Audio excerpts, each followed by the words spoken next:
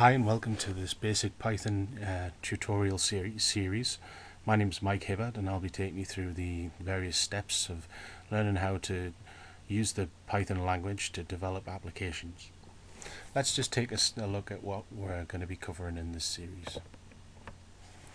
The first thing we're going to cover is how to get you set up, how to uh, basically give you a hello world kind of program just to get you into the, the, the, the way of thinking of things and also to show you um, one of the best way or environments to develop Python in.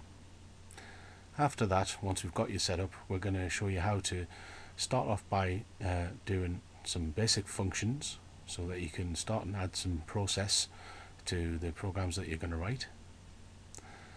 After that we'll cover the subject of classes and how Python implements the idea of classes and how you can use these in making your code not only reusable but very easy to manage.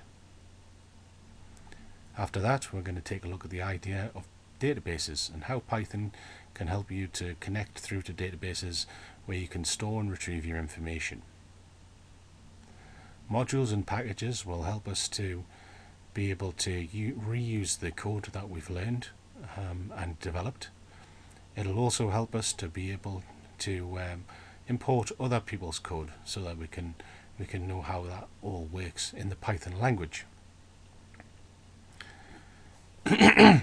Finally, JSON processing will help us to take a look at how we can pull in information from the web and start and process that with our Python scripts.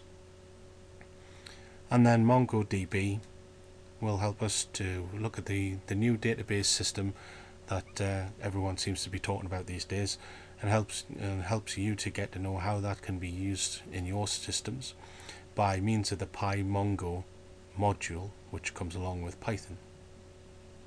So let's get started.